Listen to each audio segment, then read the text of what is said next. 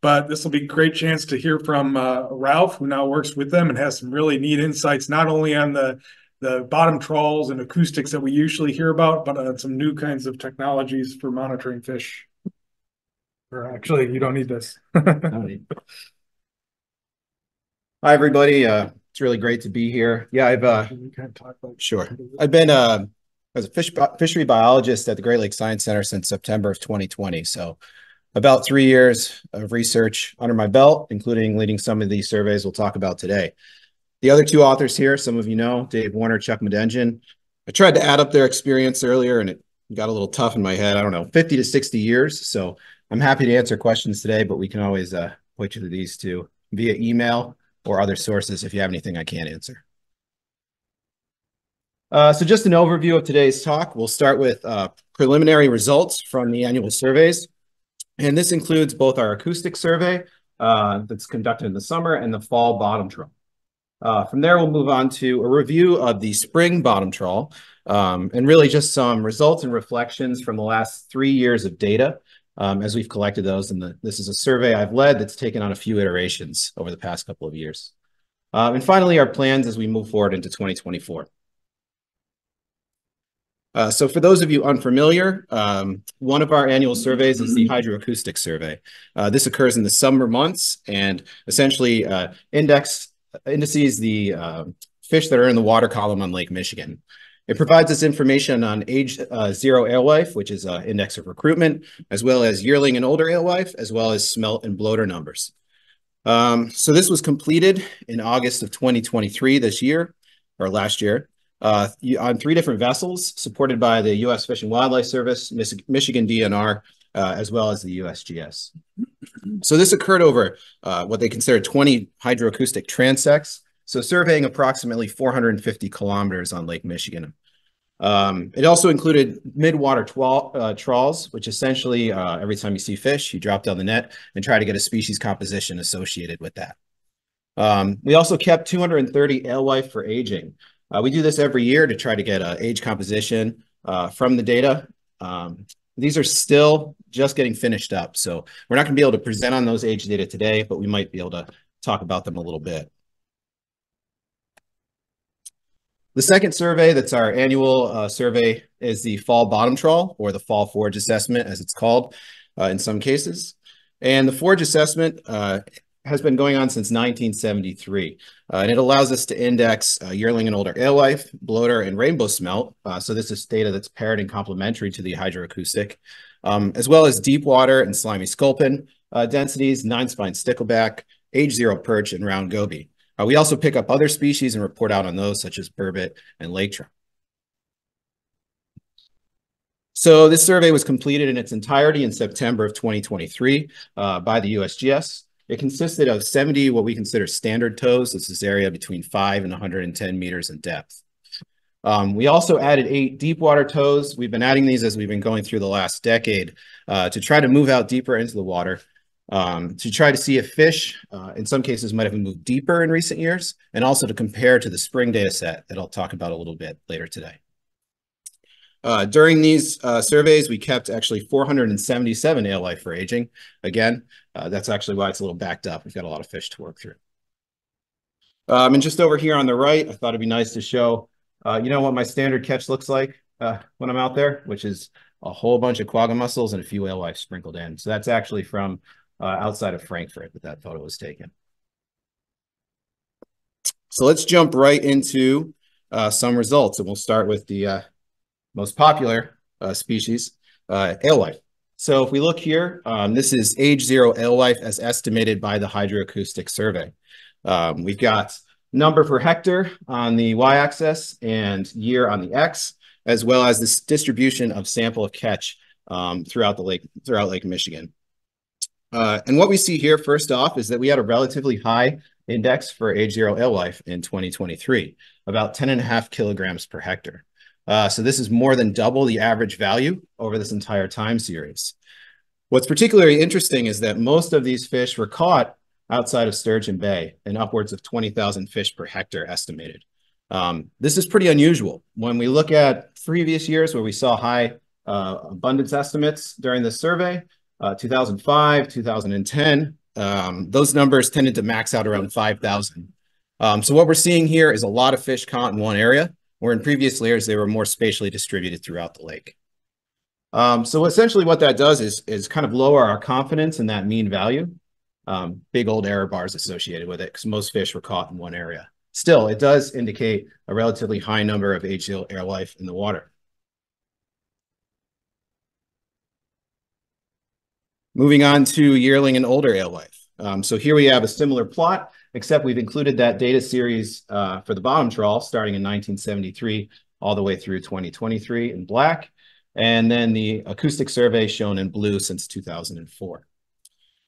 Uh, so big take homes right off is we saw a very large estimate of uh, yearling and older alewife in the hydroacoustic survey as well. Um, and this was actually about uh, 10 and a half. Sorry, the age zero index was over a thousand fish, so I apologize for that. Uh, but about 10 and a half kilograms per hectare from the hydroacoustic survey. And this is actually the highest value uh, that we've seen in the hydroacoustic survey since it was started in 2004. Uh, so we were a bit surprised to see these results.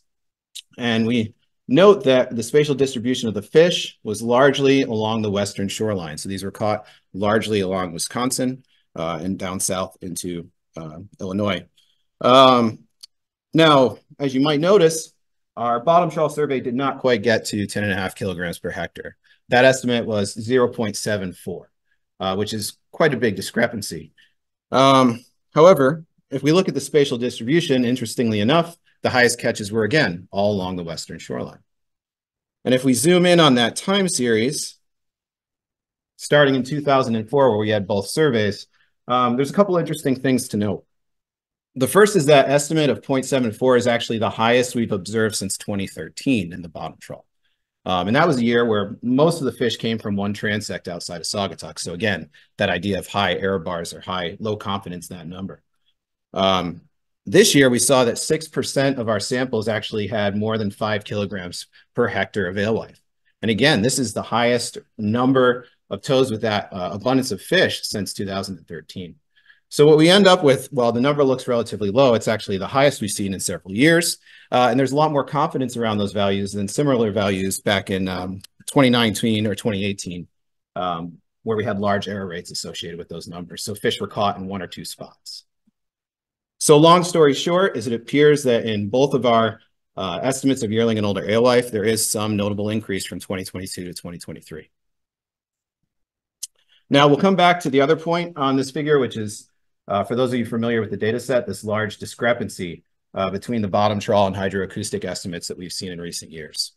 Um, but first, I wanted to talk a bit more about some of the other species that we index in both of these surveys. Uh, so next up, we have bloater, uh, less than 120 millimeters. So we commonly refer to these as small bloater. Um, but essentially, uh, they can allow from the hydroacoustic survey an index of recruitment strength for a given year.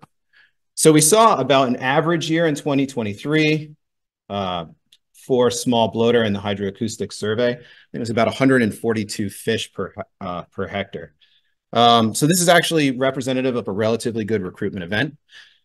Um, you would notice that the bottom trawl does not have the same uh, good news. It's actually close to about two fish per hectare. But this isn't uncommon to see this kind of discrepancy. So as we've seen in previous years, we see a peak in the hydroacoustic, and then the following year, a peak in the bottom trawl. And we think that's because in the bottom trawl, we might be indexing multiple year classes uh, with this less than 120 millimeter length. So you might be seeing these fish as they move from pelagic down to benthic showing up in the bottom trawl the following year of a high recruitment event. So right now we've actually got a team at the center who's taking years and years of of bloater data and trying to age these fish that we have in our archives. So we're hoping to get this fine tuned so we can figure out exactly what we're seeing in the bottom trawl for these fish. Uh, regardless, it does seem that there was a, a recruitment event for uh, bloater uh, as indexed by the acoustic survey this year. For large bloater, or those fish greater than or equal to 120 millimeters, um, both surveys were around uh, two and a half to three kilograms per hectare. Now, if you look at that in reference to the bottom trawl survey uh, in the 70s or the 80s and 90s, that seems quite low. Um, but if we actually zoom in on those numbers like we did before for alewife, we kind of see a different story. Uh, so in recent years, we've seen the building of biomass of large bloater in the lake. Uh, so coming out to about two to three kilograms per hectare in both surveys, uh, depending on the year. Um, so this represents a pretty substantial increase, especially for the acoustic survey, if you look back to 2004, where it was quite low. So given the high recruitment events in recent years, or average in 2023, it does seem like we're building bloater biomass back in the lake. Uh, most of these fish were kind of sporadically caught throughout the lake, uh, but they did tend to be in the highest densities kind of in central Lake Michigan. Uh, moving on to another species of interest, rainbow smelt. Uh, we'll start with the small rainbow smelt, again, thinking about some kind of index of recruitment. Um, so this number was about uh, average for the uh, acoustic survey this year uh, and what we would consider indicative of a recruitment event. For the bottom trawl, it was again near zero. And this kind of is the fifth year where we've seen near zero values for small rainbow smelt in that survey. Um, but there does seem to be some indication of a recruitment event from the acoustic survey. Um, however, when you look at adults, things get a little more bleak if you're a fan of rainbow smelt. In fact, both surveys were close to zero uh, in 2023. So very, very few smelt caught that were larger or above uh, 90 millimeters. Um, so this essentially would suggest that there might be some sort of bottleneck occurring uh, for this species in the early part of its life uh, kind of like what we were talking about, or Paris was talking about with the CSMI data set. It's not uh, clear what that bottleneck is, but certainly fish are not getting to the adult stage. So I mentioned we also index other species with the uh, fall forage assessment. Um, and this could include nine spine, nine spine stickleback. Uh, I always screw that one up. Uh, rainbow around goby, um, slimy sculpin, and deepwater sculpin as well as some other species. But these, in addition to alewife, rainbow smelt, and bloater, make up what we consider the primary forage base in the lake. Um, so for those species, we actually saw little change from previous years. In fact, most of them stayed near historic lows. So again, this goes back to this idea. In recent years, we've seen low biomass of prey fish in the lake. Um, round goby was about 0.3 kilograms per hectare, which is actually quite a bit. I think it was 1.6 in 2022 uh, quite a bit lower than the previous season. Uh, but overall, the clear message here is that in terms of overall biomass, uh, we're still quite lower than the 70s, 80s, 90s, and early 2000s for prey fish. I got Sure. I do a lot of snorkeling and diving and stuff, and um, I just wonder how would you doing the round gobies or just inundated around the rock pile? How would you your dredge, your yeah. trawl catch rocks, you know, how would you even know? You know yeah, that's that's they're in there by when you're not snorkeling around, you they're they're skidding around in there just by the you know, just all kinds of yeah. And you know, that's that's a great question. We're gonna come back to that a little bit later, but just to answer it now, when we talk about round goby Could density. you repeat the question for the online audience real quick? Sure. It was just um, how can we say anything about round goby, given they tend to be around rocky habitats, skittering under rocks that would likely avoid our nets, correct? That was the question? Yeah. Yeah. So essentially, uh, we're not confident in that number. we track it because we're out there sampling these sandy habitats, and we do see an oscillating population. Is that actually oscillating, or is it just that we don't have a good handle on that density estimate because of that variability associated with habitat bias? Um, we're actually working on some other work with advanced technology at the center um, that essentially is trying to track and index these species in another way. And that work's ongoing. And they'll be doing a survey later this year on Lake Michigan to, I think it's the fourth year in a row that we're doing that. So they're using underwater vehicles essentially to go over these rocky and sandy habitats to try to index uh, round goby. They call it a goby bot. So it's got a fun name. It's got more fun than my trawl names. So, uh, but great question. So uh, a general summary from the annual surveys. Uh, the 2023 uh, alewife year class appears to be relatively strong, uh, but there is low statistical confidence around that number, so it might be needed to be taken with some precaution. Um, both annual surveys indicate some increase in yearling and older alewife biomass density from 22 uh, to 23, but to varying degrees. We saw that massive increase in the hydroacoustic survey and a small increase, um, albeit a greater distribution of the species in the bottom trawl. So we continue to wonder why this large and uh, strong discrepancy between these two surveys that historically were aligned. We'll come back to that. Um, the acoustic survey also indicates that we had a better or close to average, I should say, bloater recruitment uh, in 2023. And we're still seeing that large bloater biomass continues to mean, main, remain relatively high compared to earlier this uh, in the decades. And finally, biomass estimates for other forage fishes are really similar to what they were in recent years um, beyond the alewife and bloater estimates. So at that point, I'd like to come back to this idea of discrepancy between the hydroacoustic survey and the bottom trawl, the fall bottom trawl specifically. Um, so there's been a lot of work done recently or, or, examination of existing data, testing ships, looking at noise bias, water clarity bias, changes in species composition to try to figure out what the heck happened, right? Um, and that nothing's been conclusive.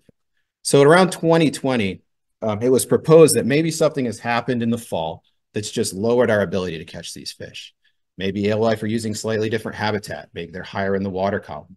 Uh, but essentially, maybe something's going on with the catchability of these fish that's affecting our fall bottom trawl numbers.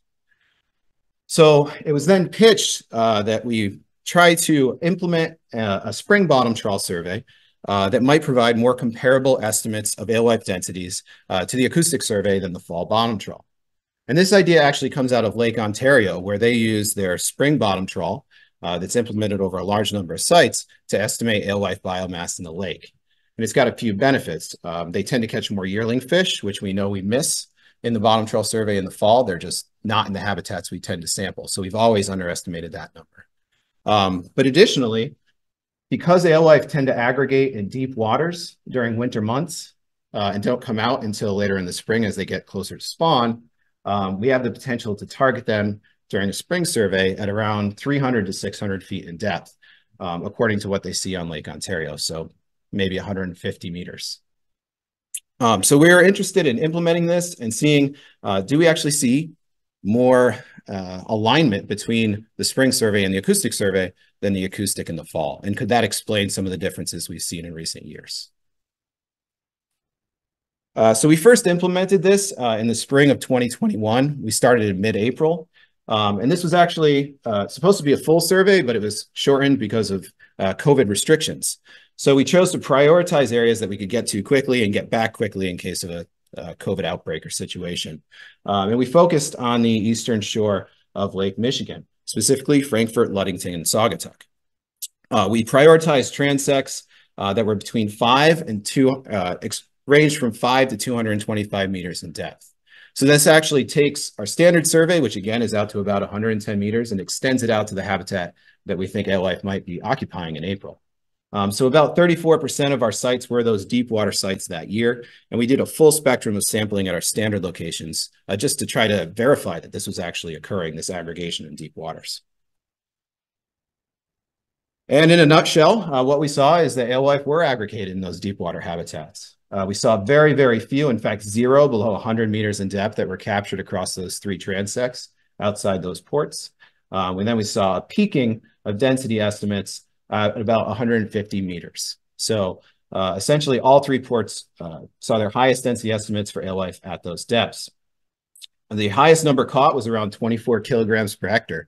Uh, and that was almost in the dead center between Saugatuck and Waukegan transects, So about 156 meters. Question? When you're taking these surveys, again, with going back to diving. Yeah. The water temperature changes dramatically. Have you checked as you're doing this, the difference in the water temperatures when you're doing these tests? Yeah, yeah. See where, what temperatures you're catching and Mm-hmm. finding these things at? Yeah. So in the spring months, actually on every cast or every tow that we do, we we throw out a cast of what's called a CTD. Essentially, it lets us monitor temperature down through the water all the way to the bottom of the, the, the lake. So we take a temperature profile at every site. In my, most cases, it's still isothermic. So we're still just seeing straight down or almost straight down at four degrees in April, especially in the north. Um, in one year, and we'll talk about that coming up here, um, things were starting to warm. That was 2023. Um, we had a really limited survey. We didn't get down to the south, but I think if we did, we might start to see that formation of a thermal bar in the shallower waters and some warming of the waters. Um, but in general, in April, our goal is to get out there when we haven't quite seen that shift in temperature to that level or extreme.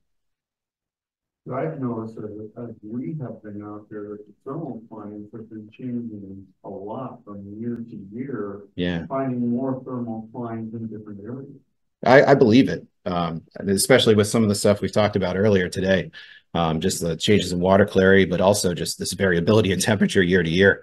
I mean, look what we're seeing now in terms of this winter. So, um, April, it's probably all thirty-nine degrees. yeah, yeah, it, it is. And like I said, last year it warmed up faster. Um, we weren't able to get south, but we thought if we did it, we might see something different.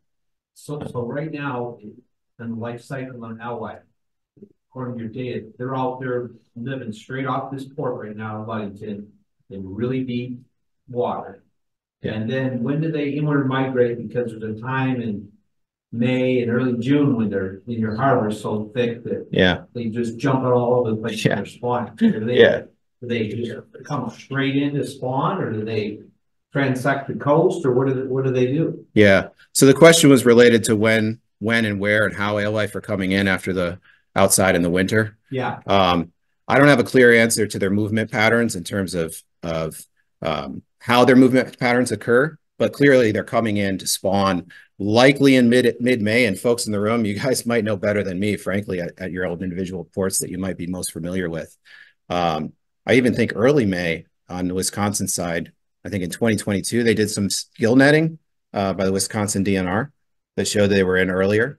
Um, so I think it's anywhere, depending on the year, uh, either late April to, to June that those fish would Right. be moving in. Temperature. Temperature dependent, yeah. So we've, we're really interested to see, especially this year, have these fish already moved in? Had, did they ever go as deep? Are they holding at slightly shallower temperatures? Or so- sh- slightly shallower depths that are associated with maybe warmer temperatures? and So, it seems to correlate with, with the fish. I mean, when the allies are in, the, the salmon are not far behind and Yeah. browns are gorging on them and. Yeah. it Just sort of, we see a lot of allies usually catch a lot of fish. yeah, yeah, absolutely. And, and I mean, Paris mentioned earlier, um, that even the distribution in the lake when they see larvae emerging can differ quite a bit. So they were sampling in July and seeing high densities of alewife um, in the northern portion of the lake, but it seems like they actually missed the fish in the south and and they were likely spawning earlier.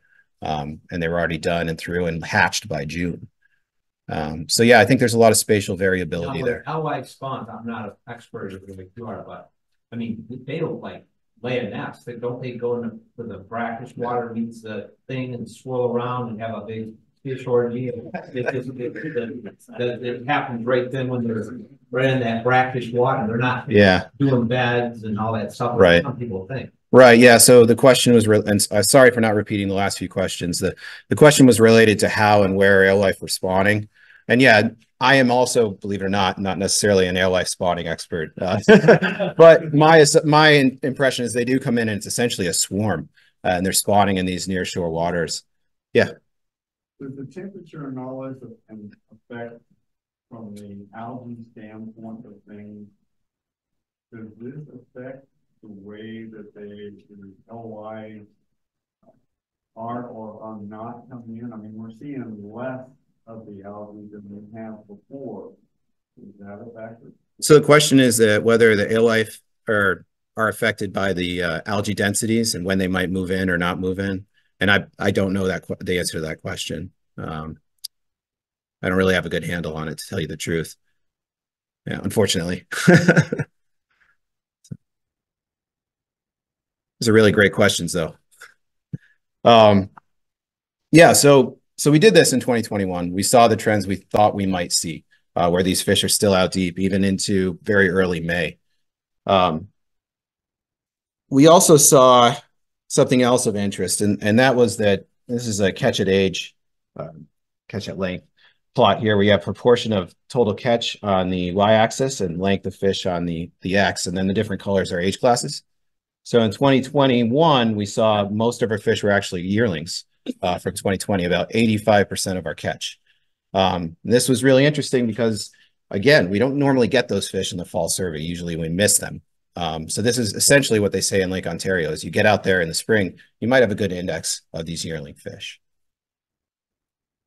So we were excited. you know, we got out there, we got some alewife, we had a really high density tow. Um, so we thought this might be a good answer. So uh, we didn't have enough data to really make a good comparison to the fall that year. As you saw earlier on the alewife uh, density maps, they can be anywhere distributed in, in ways you wouldn't necessarily understand. So uh, we couldn't make a direct comparison to the fall that year, but we were able to get out there in, in 2022. Um, and so in 2022, we actually expanded this to a full six port survey. So trying to get to both sides of the lakes in this early spring period, starting in mid-April. Um, we put a greater focus on those deeper waters, so greater than 125 meters. We essentially did a 50-50 split between our standard sites shallower and these new deep water sites. And that included trying to go all the way across the lake uh, in the north and the south. And uh, by some miracle, we were actually able to do that. Um, I figured we'd be blown off the water too much to do it, but we were able to sample all the way across the lake in the south and the north between Sturgeon Bay and Frankfort. Um, my crew wasn't necessarily happy. We had a good amount of snow, but they're troopers. So um, we are also able to sample several of these deep water sites that fall. So I mentioned earlier, we've been expanding what we're sampling in the fall, getting into deeper waters. And that allowed us to actually make some better comparisons statistically to what we were seeing in the spring. Uh, big story again, alewife were still aggregated in those deep waters in 2022. And here we've just got an actual uh, comparison between the probability of catching alewife at a certain depth between the spring and the fall as we were able to get that full survey. Um, so essentially your highest chance in the spring is that, that 150 meter in depth, maybe 125 to 175. In the fall, they're pretty well dispersed throughout. Um, so it's a, pretty much a random chance whether you're getting them depending on where you are. So again, just reiterating that we did see the fish where we thought we would catch them. We also saw again our highest catches in the central central portion of southern Lake Michigan, although about half the number we saw in that large catch uh, in 2021. So as I mentioned, uh, one of the benefits here in 2022 is we were able to do an actual comparison uh, to the fall survey with the full extent of the lake. Uh, so here we've got kilograms per hectare of alewife. and That's all alewife, so yearling and older, and the number per hectare for the spring bottom trawl, the acoustic survey, and the fall bottom trawl of 2022. So uh, we did see higher numbers, 0.38 in the kilograms per hectare in the spring versus 0.1 in the fall. Uh, that's not exactly what we were expecting because if you look at the acoustic survey, that estimate was an order of magnitude higher at 3.0. So even though we were able to complete this full survey, we didn't see the increase in alewife we might anticipate in the spring um, if we had been missing them in the fall survey. Uh, when you look at number per hectare, it's slightly different, right? We're about 10 times higher in the spring than the fall, but still four times lower than it was caught in the acoustic survey. Um, the reason for this is, again, yearling fish and age two fish up made up the majority of the catch. It was about, again, 85%, or 80 to 85% that were yearling fish, that 2021 year class. Um, so 2022 did show us, uh, kind of indicate to us that we got, we seem to understand what's going on with these fish in this time of the year, but we didn't see the change in biomass density we thought we would uh, from the fall survey. So our goal last year was to get out one more time at least and see if these results are consistent through the whole lake. Unfortunately, uh, the vessel had other ideas. Uh, we had some mechanical issues and staffing issues that really prevented us from doing a full survey. We still wanted to get out on the water and get some work done and potentially answer some interesting questions. Um, so we did a shortened survey at Sturgeon Bay, Frankfort, and Ludington, the closest sites we could get to over a six-day period, so a really small period of time. But just in addition to sampling for alewife at these depths, uh, we wanted to answer an additional question or at least explore it. And this kind of relates to this idea that we didn't see the big biomass density estimate we might have anticipated between the spring and the fall in 2022. So the next question is, are we still missing these fish somehow? Um, so one idea that folks have pointed out um, at last year, some of our meetings last year with the lake committee, um, was is there any evidence that alewife are actually above the net, like just above our gear, and we're not able to catch them? Um, so this year we actually did something uh, we haven't done before, which is we paired acoustic data with the bottom trawls. We'd go out and we'd uh, run over the area we do the bottom trawl for about 30 minutes. Uh, so actually quite a bit more distance than where we actually bottom trawl. Then we drop the bottom trawl and run it. And what this allowed us to do is just make some general comparisons between uh, the acoustic estimates, like we were showing earlier here today, um, and the numbers that are coming up in the bottom trawl. So what'd you find? Well, here we go. First off, Uh, alewife were still out deep, but they were slightly shallower. Um, they were peaking out around 91 to 110 meters in depth. All this conversation we've been having about temperature differences, uh, we initially thought, well, it could be a little bit warmer. These fish might be shallower. And we did see that, but the temperature profiles weren't any different. It was still 39 straight to bottom at all these sites. So that was somewhat surprising, uh, but it was a warmer year and they were a little shallower. So there might be something there, but we didn't have a lot of sites. Um, also, there was really no indication that we were missing large numbers of fish um, sampling with the bottom trawl. And by that, I mean, uh, there were no bait balls in the acoustic survey. Um, we did those kilogram per hectare estimates and where we had enough data, and again, this was really relatively limited, there was no difference. Um, in some cases, it was close to the same kilograms per hectare throughout the entire water column as the bottom trawl, but even that sort of change wouldn't affect the numbers to a level that would, would account for that difference with the acoustic survey. Um, again, this was a relatively limited survey, so we're looking at the possibility of trying to expand this and do this again in recent in upcoming years. Yeah. Last year and the year before, one of the guys that gets my boat in the water pretty early, and there was a couple of charter captains as well. Yeah, And they were out on the shelf like 100, 110 feet of water. Okay. Catching lake trout on the bottom, they the full whales. This was like late March or April, really? Where was that? out of Manistee, Really? Yeah. And the last two years, prior, the ten years prior to twenty-two, I was catching anywhere between two and three hundred lake trout in the spring. Mm-hmm. That was about it, you know, just like Yeah, a few browns. But two years ago and last year as well, there was enough bait out on the shelf. The lake trout did not come into the harbor in the numbers that they had been. We suddenly have brown trout to catch because the lake trout weren't in there eating the fries that were being planted, or the juveniles that were being planted. Yeah. So there's obviously enough alewives in hundred feet of water, the last two years anyway, to feed the lake trout and keep them out of deep water. Why swim all the way in here if you can stay home and eat? you know? sure. It's Yeah. Yeah, and, and, and again, this idea of distributions of fish in the spring, even in March, um, it's one of the reasons we're so interested to get out there again this year, like with this really abnormal year. What's that? Put my the water today. Oh, did you? Well, there you go. You're better than us. We're not quite there yet. Um, now, interestingly enough, you know, if we, if we take one more look at this, uh, uh, essentially prop, prop, uh, proportion of total catch, given a length and a given age. Um, remember the last two years, 2021, 2022, was all yearling fish. And in 2023, it was age two. It was 2021 fish year class coming through.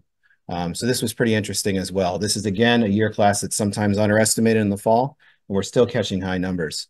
Um, as I mentioned earlier, we don't have the age composition data yet for uh, 2021 or 2023 from the acoustic or the fall bottom trawl, but signs are pointing to the idea that the 2021 class is well represented.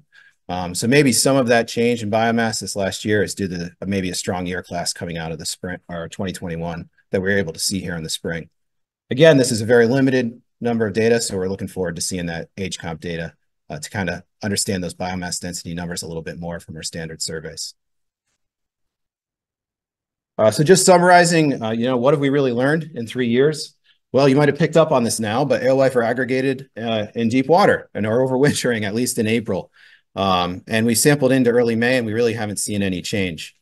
Um, we appear to be able to catch yearling and age two alewife better in the spring uh, than we do in our fall surveys. And this aligns with what we know or what we think we know in Lake Ontario. Uh, however, in the only lake-wide survey to date, 2022, spring yearling and older alewife biomass density was higher than the fall, but not to account for that historical discrepancy we've seen since 2014 between our standard surveys. So we still think there's a bit to learn there. So moving into 2024, um, our field season plans are first, implement the spring bottom trawl again, six point survey, a full survey. Um, we pushed up the start date to April 9th, which is the earliest I could do. Um, just tried to get out there as quick as we can because if you guys like to ice fish like me, this has been an awful winter for it. So uh, they're, just a, just got a little ice in Sheboygan before we can get moving and test our new transmission. So this again is at least a little bit earlier than previous seasons. Um, we also plan to complete the full acoustic survey and that fall bottom trawl, um, and we've got the crew to do it. Uh, and finally, uh, we're focusing on completing a lake-wide uh, round goby survey uh, with, again, the goby bot that we talked about earlier. Um, this is led by Pete Esselman, uh, who works at the Great Lakes Science Center. Um, and he's presented on these data multiple times, at least the idea of it. Um, but now he's actually generating some numbers. So in the next couple of weeks, he should get some uh, Goby biomass density estimates that might be more reflective of actually what's in the water, at least relative to other uh, bait fish or prey fish that are out there. Uh, with that, I, would just like to say thank you to all the crew, uh, the boat crew, the science crew that make these surveys possible. Uh, they're an incredible group. So, yeah, Mark. Yes. Yeah, so, um, I- you didn't talk much about smelt, and I think mostly that was because you didn't catch many of them. Yeah. I will say that the last couple of years anecdotally, the reports of, of smelt dipping, it- like, it's actually viable again in Yeah. our our state. Yeah, Whereas if for most of my career, they, there, it has not been the fact, we, they just weren't there. So anecdotally, there are more adult smelt around to the point where people are dipping them. Yeah. And, and, uh, catching them off the piers too with the, the, the real nets. that's a great point. Yeah, I actually remember being here in Ludington last spring and talking to some folks that were out there dip netting. And I said, we, we haven't been able to do this in years. And, and in Ludington, right? Uh, and it was a big, big event. So actually, I was excited to get out there and see what the fall showed, and then completely bummed out to see his estimate of zero. So, um, you know, it's a single season. Maybe in the next couple of years, we'll start to see that biomass build up. So the question is, uh, in spring, when mature alewife migrate from winter deep water to shore and to spawn, uh, is there a guess as to why they end up where they do? Homing instincts, riding the currents. Also, uh, what is assumed to be, what is assumed about non-mature alewife migration in the spring? Yeah, um, that's a good question. I know there's some ongoing work, I think by Tomas Höök and one of his grad students, uh, specifically thinking about alewife migration and, and sources of alewife, drowned river mouths versus main basin. Um, in terms of homing for this species, I don't know a lot about it, to tell you the truth. Um, my thought is they'd come in and find a good spawning area and go go for it. Um, but I don't have a, a great understanding of that. Um, it's an excellent question. There might be other folks that can answer it a little bit better than me. So Any other thoughts? I know in Manistee, we have a spring with a lot of east wind. They have much better spawning in Wisconsin than we always. They sure. don't seem to want to swim back over the others. They Just get get- blown under the west shore, that's where we spawn. Yeah. Seems like anyway to us.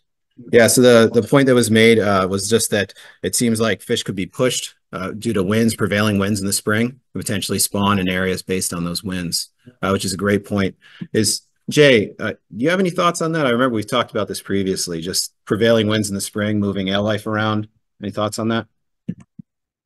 Yeah, I- I think it certainly can be, um, especially currents that are happening out there. They could, currents are wicked out there and they could move fish in a hurry. So Yeah. I would certainly look at that. And I think there are some folks looking at currents and movement of fish and larval fish and where they end up. Yeah. Um, in the summer, so. Yeah, that's all plausible. Right. And, and I think that Sturgeon Bay, I mean, here it is, it's, it's right adjacent to the huge abyss in the lake, the deepest part.